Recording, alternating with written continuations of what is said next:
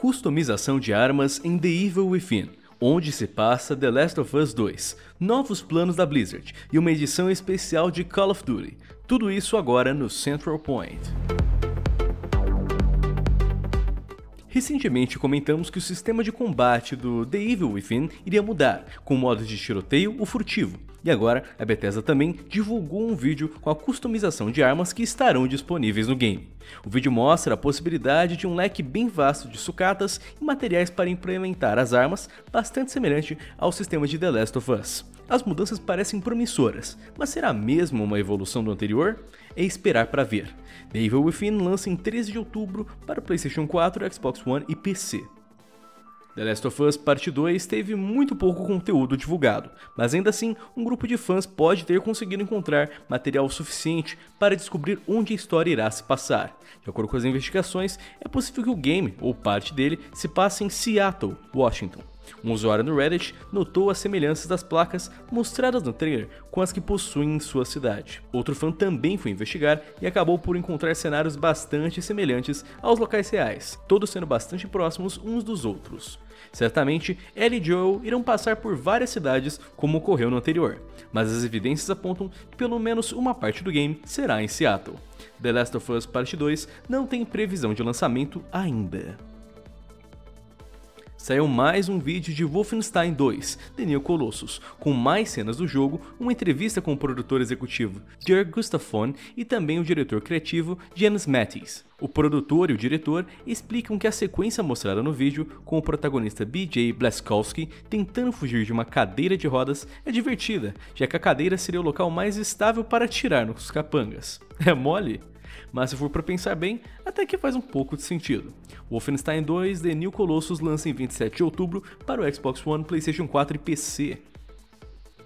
Antes de manter uma quantidade restrita de propriedades intelectuais, a Blizzard vem estudando uma forma de modificar isso, expandindo seus projetos.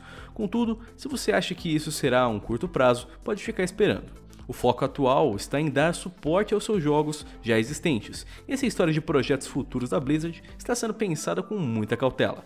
Durante uma reunião com os acionistas da Activision Blizzard, o presidente da Blizzard, Mark Morhaime, lembrou que o cofundador, Allen Adma, voltou recentemente ao estúdio justamente com o intuito de planejar projetos futuros. O diretor afirma que dentre as iniciativas está se focar em mobile e que agora há diversas equipes para projetar sobre o futuro da empresa, mas ressaltou que criar novos games de alta qualidade requer tempo em qualquer plataforma. Quais serão os novos projetos da Blizzard? Uma pena que vai demorar um pouco para sair, mas o que será que eles trazem de novo pra gente, hein? Tudo bem que não há mais grandes expansões para Halo 5 Guardians, mas isso está longe de significar que a empresa deixou o game esquecido no fundo da geladeira. A companhia na verdade afirmou que há novidades quentinhas programadas para o jogo, que permitirão tirar proveito da capacidade 4K do Xbox One, além de outras coisas secretas. A 343 Industries alega que a lista de coisas que almejam fazer para Halo 5 parece nunca terminar, mas que muitas coisas acabaram ficando no limbo até ter um patch que possa ser lançado. Logo que Halo 5 foi confirmado como tendo uma atualização para o Xbox One X, o estúdio passou a listar o que poderia ser incluso no update. A empresa não foi específica sobre a atualização, mas que muitos bugs seriam eliminados. O estúdio também agradeceu o apoio dos fãs, dizendo que as respostas da comunidade sempre auxiliaram na criação do conteúdo. Bom, para saber quais serão as mudanças em Halo 5, é esperar para ver.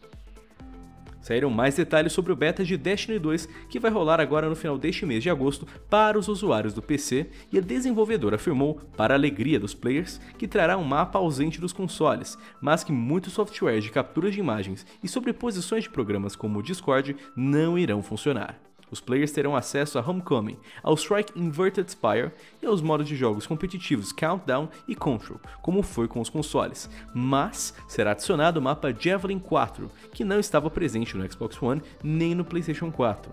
Em compensação, parece que não será permitido acessar a área social The Farm, que ficou temporariamente disponível no beta dos consoles.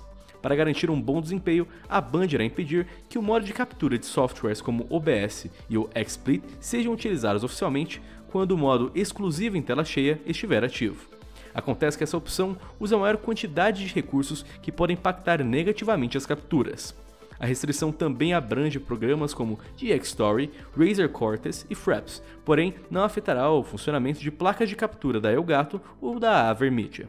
Parece que a Band querer barrar estes softwares tem mais o objetivo de evitar códigos indesejados, ou no caso aquele famoso hack do que qualquer outra coisa, né? Já está todo mundo careca de saber que na nova aventura de Kratos, Atreus irá acompanhá-lo na aventura.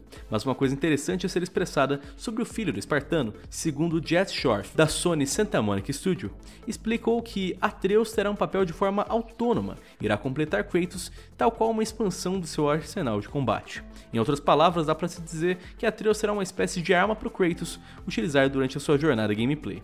Parece doideira, hein? Até porque o filhinho do careca será bem mais que apenas um acompanhante na aventura. God of War será exclusivo de PlayStation 4 e tem previsão de lançamento para o início de 2018. Call of Duty World War 2 está com uma hype gigantesca, e é curioso já que o lançamento está cada vez mais próximo e não vem saindo mais tantos detalhes do game, além de um trailer aqui e acolá. Mas claro, o jogo terá edições de colecionadores, em diferentes versões, mas talvez seja o Valor Collection que irá brilhar um pouco mais aos seus olhos. Não bastando ter uma estatueta como item colecionável, é uma estatueta de bronze. Sim, é bronze, meu caro além de um pin de metal da espada da divisão Blood Raven, um pôster exclusivo do modo zumbi e patches para decorar jaquetas e outros tecidos, é para completar também vem com a chave de ouro. Você também ganha o passe de temporada e um Steelbook. Dessa edição já tem duas versões, a Pro que já vem tudo isso que foi citado e a comum que vem em um Steel Case no lugar do Steelbook. Ah, e também não terá passe de temporada. Ambas as edições estarão disponíveis para o Xbox One e o PlayStation 4. Apesar de ser um lindo kit, não há detalhes da disponibilidade ou mesmo do valor, que com certeza deve sair por uma facada incrustada de sal grosso nas nossas costas. Call of Duty World War 2 lança em 3 de novembro para Xbox One, PlayStation 4 e PC. Pessoal, essas foram as notícias de hoje. Eu espero que vocês tenham gostado deste vídeo. Se você gostou, não se esqueça de deixar aquele like para apoiar o canal, beleza? Estamos em diversas redes sociais, como o Facebook, o Twitter, o Discord, o Patreon, Apoia-se e o novo Instagram. Os links das redes sociais estão aqui na descrição, então se você tiver um interesse, dá uma passadinha neles, beleza?